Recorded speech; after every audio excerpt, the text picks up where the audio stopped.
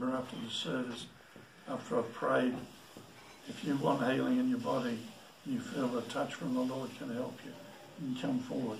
Afterwards, I'll still be here. Okay? So let's uh, let's close the meeting with a word of prayer.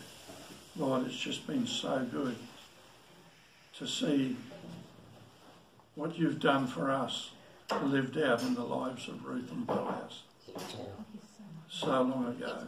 Jesus. Lord, it's it was it's such a beautiful story. And Lord, the rest of the scriptures are a beautiful story about what you did for us.